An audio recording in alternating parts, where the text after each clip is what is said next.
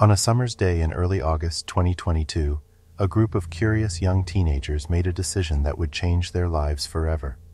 At just 14 years old, Mackenzie Croxford Cook and his friends found themselves looking for a thrill, sneaking into an amusement park before it opened to the public.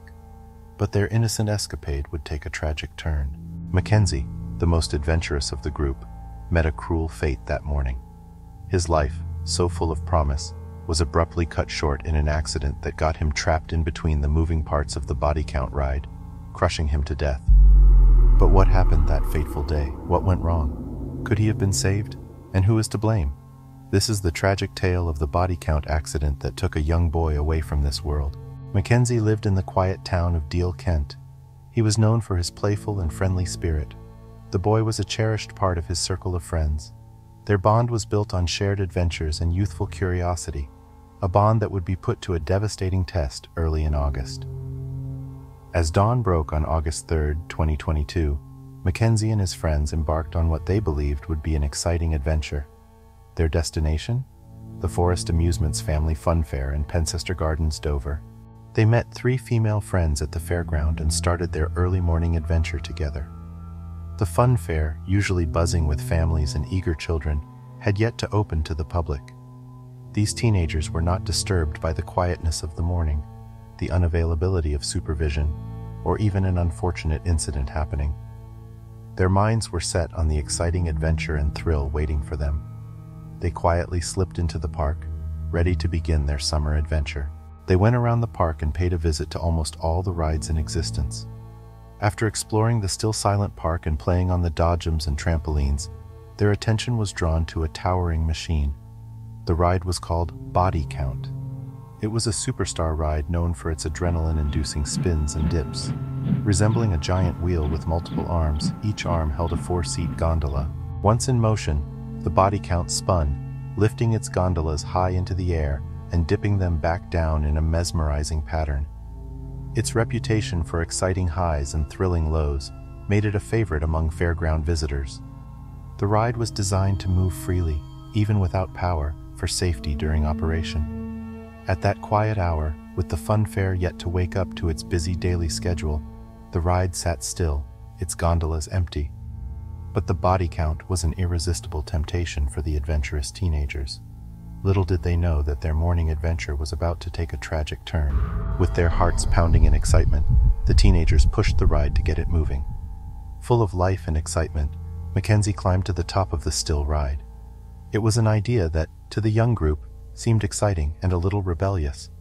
The fear of falling wasn't on their minds. They only wanted to be in the moment and exist in the moment. Suddenly, Mackenzie decided to climb, as sitting wasn't enough for him. But as Mackenzie began his ascent, he found himself caught between a support beam and the arm of a chair. The teenager's excitement turned into terror as Mackenzie screamed in fear and pain. They tried to push the ride in the opposite direction to free their friend, but the ride wouldn't budge. One of the boys called the emergency services, but as they waited for help, a chilling sight met their eyes. Mackenzie was not moving, and his skin had taken on a purple hue. The teenagers couldn't believe their eyes. The one friend they came with, whose laughter towered above everyone else's, was deathly still. The boy bent over Mackenzie, told him he loved him, and kissed him on the forehead. By the time the emergency services arrived and the ride was finally stopped, it was too late. A spokesperson for Southeast Coast Ambulance Service said, sadly, a teenage boy was pronounced as deceased at the scene. The emergency workers recorded Mackenzie's death at 8 a.m. The report showed that the ride had spun so that Mackenzie was trapped and his chest was crushed, causing the fatal injuries. This tragic event is a reminder of the importance of safety measures, even when a fun fair is closed. It brings to light questions about security measures and whether they should be in place outside of operating hours to safeguard the equipment and any person who might find their way in.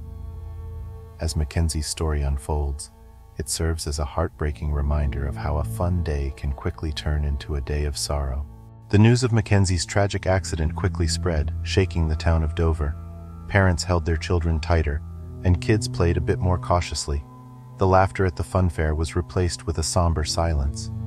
An investigation began to find out how a day of play could end so horribly. and how darkness replaced the light in the minds of Mackenzie's loved ones. The report showed that Mackenzie's injuries were severe. His liver and spleen had burst from the crushing force of the ride. It was a sad day when everyone learned the extent of his injuries, a stark reminder of how quickly things can turn bad. Questions began to arise about the safety of the fun fair when it was closed. Maria Forrest, the person in charge of the fun fair, explained that while there was security during open hours, there wasn't any after closing. This was a big concern. Could something have been done to prevent the kids from entering?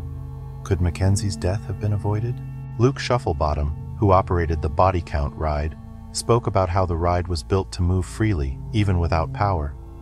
This was for safety reasons, in case the ride needed to be moved during emergencies. But in all his years of running the ride, he'd never heard of anything like this happening nor seen it. The judge ruled Mackenzie's death as death by misadventure. Death by misadventure meant that Mackenzie's choice to climb the ride, which was risky, led to the accident. This statement stirred up a lot of feelings. Some people agreed, while others felt the fun fair should have done more to keep the area safe when it was closed. Talks started about improving security at the fun fair, even when closed. The aim was to protect the fun fair equipment and any adventurous soul who might sneak in. The sad truth is that the changes came too late for Mackenzie. However, there is still a chance that we can learn from this and prevent similar tragedies in the future. However, the organizers of the fair shifted blame and responsibility from their hands to poor Mackenzie.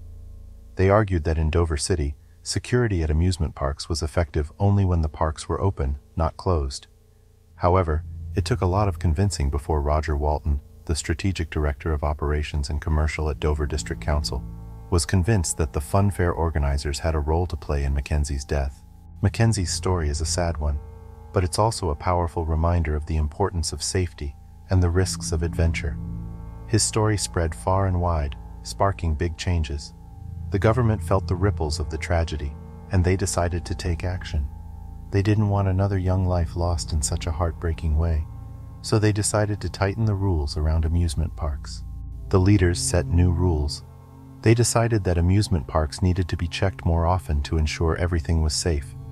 Inspectors would now visit more frequently, examining every ride closely, from the big roller coasters down to the simple spinning teacups. Their careful eyes would check each part, ensuring every ride was in top condition and safe for all the thrill seekers. Along with this, stricter rules were put in place. Parks would need to be fully secured, even when closed. A locked gate wouldn't be enough anymore. Security guards would now watch the parks at all hours, ensuring no one could sneak in for a late night ride. Meanwhile, back at the fun fair, changes were happening too. Park officials made the tough decision to take down the body count ride its bright lights and fast spins were a central part of the park for years, but after the accident, things were different.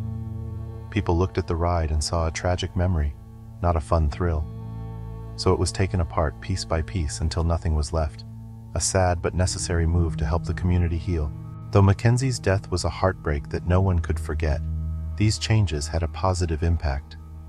With the new rules and the careful eyes of the inspectors, amusement parks became safer.